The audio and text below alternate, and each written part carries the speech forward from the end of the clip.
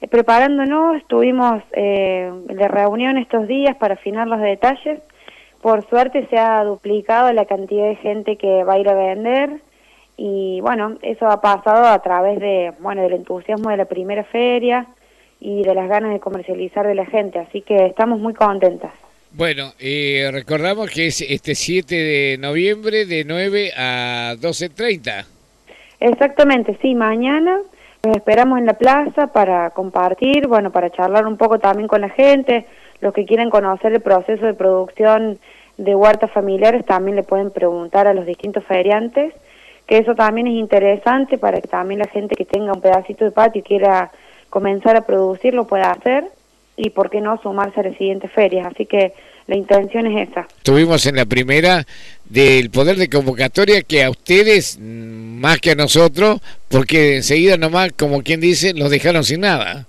Sí, sí, la verdad que sí, fue impactante la cantidad de gente que llegó a la plaza.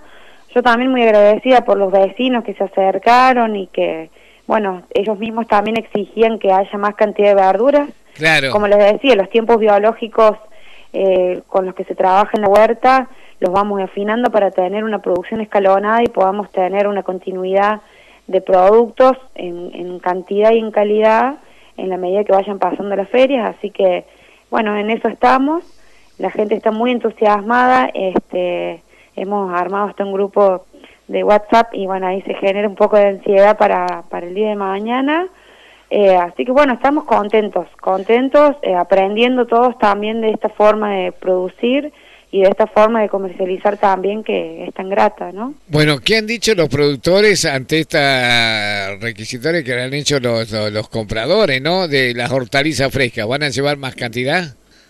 Sí, van a llevar más cantidad y además también lo que ha sucedido es que después de la primera feria los vecinos se han llevado los contactos de los productores entonces también han ido a, eh, consumir sus productos directamente de la huerta. Algunos han conocido el lugar donde se produce, la forma, eh, los huerteros también cuentan cuál es el proceso que hacen y bueno, eso es interesante también porque uno sabe realmente de dónde viene el alimento, cómo se produce, con qué se fertiliza y demás, que son cosas importantes para tener una soberanía en la alimentación.